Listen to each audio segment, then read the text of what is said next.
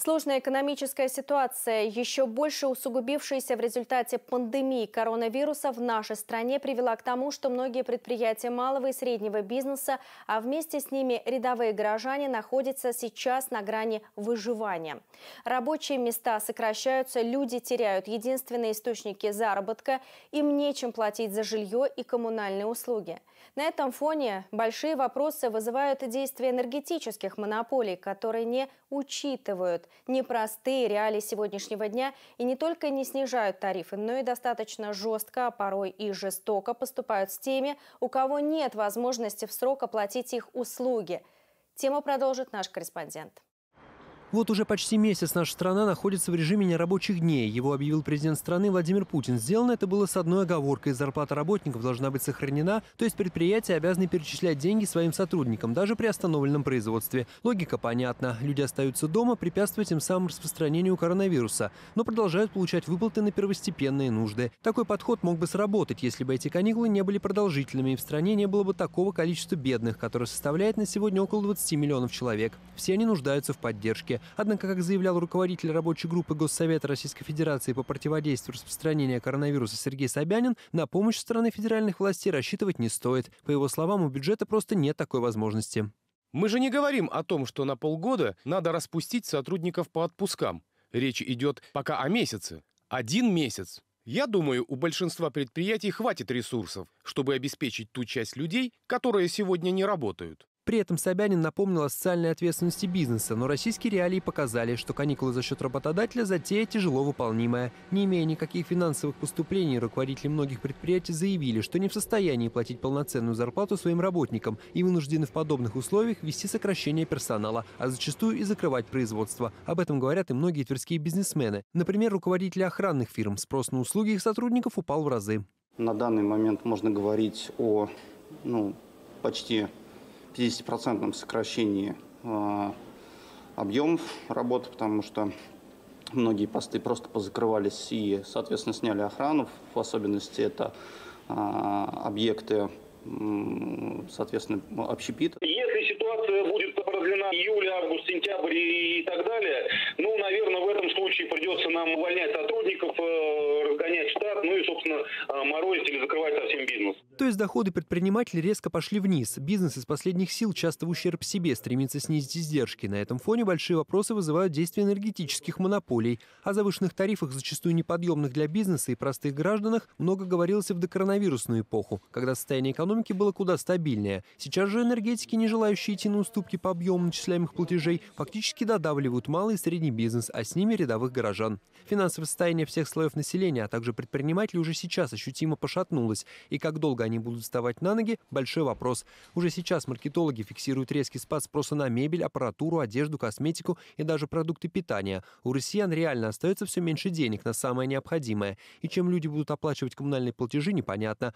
Эксперты говорят о реальном риске возникновения массовых задолженностей по коммуналке. Особенно это чувствительно в нашем регионе, где, несмотря на наличие нескольких крупных энергогенерирующих объектов, Удомельская АЭС и Конаковская ГРЭС, тем не менее один из самых высоких тарифов на электроэнергию в России. Между тем о необходимости необходимости изменить тарифную систему, особенно в нынешних реалиях, не раз говорили на федеральном уровне. В частности, спикер Совета Федерации Валентина Матвиенко выступил с предложением ввести единую госполитику формирования тарифов на электроэнергию. Комитет Совета Федерации по бюджету и финансовым рынкам предложил выровнять расценки в регионах как минимум до средних по стране – 3,4 рубля за 1 киловатт-час.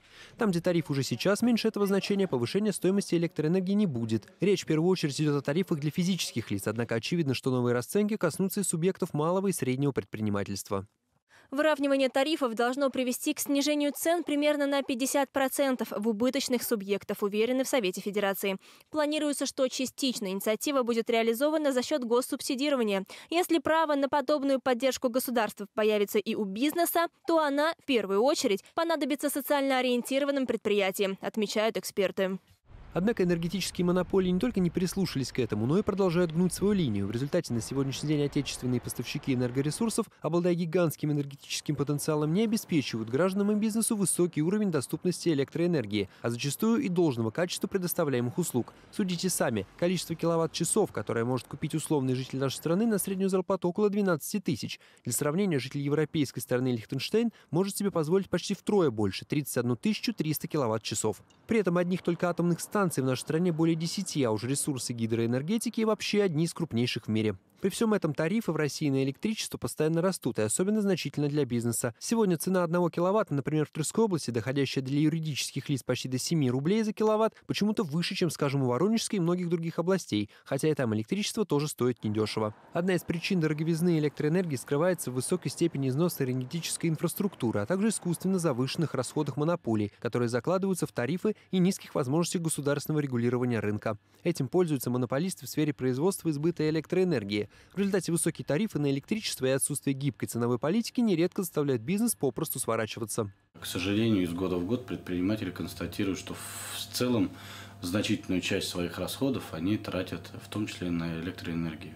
А, это связано не только с так, целиком, скажем, с нагрузкой административной на бизнес, но и э, с тем, что тарифы меняются, их э, уровень Э, ставок индексируется. Если платить нечем, э, возникает задолженность, которая в конечном итоге приводит к отключениям. И эти попытки отключения, несмотря на распоряжение правительства об их запрете для бизнеса и физлиц, пытается сделать Тверь Атомэнергосбыт, а в отношении примерно полутора тысяч компаний и организаций энергетики в течение года и вовсе инициировали судебные иски. Это часто ведет к банкротству предприятий, и, видимо, такой подход они собираются продолжать и в это непростое время. Об этом говорит полученное недавно бизнес-центром Тверь такое уведомление. А ведь в здании многофункционального центра находится и наша ТРК, и офисы разных компаний рестораны, отель, киноконцертный зал, которые простаивают из-за введенных что не дает возможности оплаты всех счетов. Аналогичная ситуация и с гостиницей «Турист», пансионатом с лечением Верхневолжья и Сельгер Палас отелем. Их тоже планируют отключить от электроснабжения. Поставщики ресурсов немилосердные, по имеющим имеющимся у нас данным, в Твери каждые сутки от различных услуг ЖКХ, газа, тепла и водоснабжения с долги отключают в среднем около трех объектов. В не меньшей степени страдает и обычное население. Не так давно наш телеканал рассказывал о ситуации, сложившейся в СНТ «Весна» на окраине Твери. От электричества там было разом отключено порядка 40 семей. В опаснейший эпидемиологический период люди остались без коммунальных удобств, причем в список отключенных попали как должники, так и ответственные плательщики. Там ни руки не помыть, ни погреться, ничего, ни воды нагреть. Ученики учат уроки у людей маленькие, со свечками. Вот, маленькие дети, у нас грудные дети есть. И ладно бы еще качество поставляемых услуг отвечало всем требованиям, ведь уже сейчас потребители массово бьют тревогу, заявляя о многочисленных фактах перебоев с подачей электроэнергии, скачках напряжения, приводящих к выходу из строя дорогостоящей бытовой техники. Наши три дома, вот они несчастные дома, 52, 52 корпус 1 и 48 корпус 1, а, они отключаются постоянно, то есть э, на неделе 3-4 раза, еженочно, то есть от секунды до 5 минут, то есть э, какие-то переключения технологические. Ну, у нас бытовая техника, телевизоры в квартирах, у нас микроволновки в квартирах, у нас э, э, компьютеры, в конце концов холодильники и стиральные машины. Боимся потерять. Обоснованность претензий горожан нам подтвердили и сотрудники экспертного бюро, которым на дефектовку приносят сотни почти новых телевизоров, посудомоечных машин, компьютеров и другой сложной электроники, безвременно высшие строи из-за скачков напряжения. Люди периодически к нам обращаются с неисправными электроприборами, устройствами. А в ходе скачков напряжения в электробытовой сети да, устройство банально уходит из строя. То есть нам приходится проводить экспертизы, устанавливать причины. Большинство всех случаев все-таки по вине а, перенапряжения бытовой электросети. То есть это все вина энергетиков. И так из-за некачественно предоставляемой услуги горожане и предприниматели несут серьезные убытки, а компенсации им добиться практически невозможно. В связи с этим напрашивается один вопрос. Почему лямку тяжелейшего экономического бремени должны тянуть простые люди и бизнес, которые в нашей стране исторически находятся в сложнейших условиях выживания? А энергетические монополии, получается, считают, что находятся в привилегированном относительно других положении и могут себе позволить, не обращая внимания на постановление правительства, продолжать создавать проблемы для деятельности бизнеса и граждан, постоянно повышая тарифы на свои услуги. Это напоминает напоминает игру в одни ворота. Но это не повод складывать руки. Всем понятно, что в одиночку гражданам не просто тягаться с энергетиками. Поэтому всем, кто пострадал от некачественных услуг по подаче электроэнергии, воды и тепла, газа, мы предлагаем обращаться на наш телеканал. Мы поможем вам подготовить коллективные иски в адрес недобросовестных поставщиков услуг и добиться компенсации ущерба.